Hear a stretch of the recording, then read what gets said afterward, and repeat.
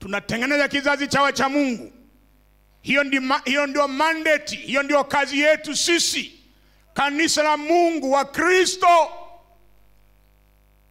Katika ndoa zetu, si ndoa tu, nimepata mwenzi, nimepata mke, nimepata mme.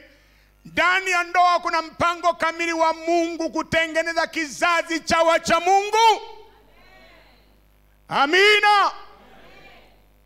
Na ndio maana tunasema wasichana mliopo hapa na vijana, hautapelekwa na mwanamume yeyote tu. Wewe ni kizazi kilichochaguliwa, unaolewa na mtumwa wa Mungu ili mwendeleze kizazi cha wacha Mungu.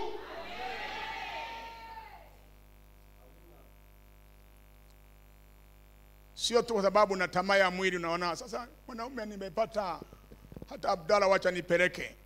Aa, wewe ni kizazi kingine. Wewe ni kizazi cha watu cha Mungu, huwezi kupelekwa na kila mtu. Usijipeleke kwa yeyote yule. Msichana wetu, tulia, maana Mungu ana mpango kutengeneza kizazi cha wacha Mungu, kizazi ambacho kitaendeleza watu wa kumcha Mungu na kumtumikia Mungu wa mbinguni. Amina. Hata vijana ni hayo hayo ndio maswali ya vijana. Sasa mimi nikioa tu hata Hadija au Mwajuma, si hata nitamgeuza?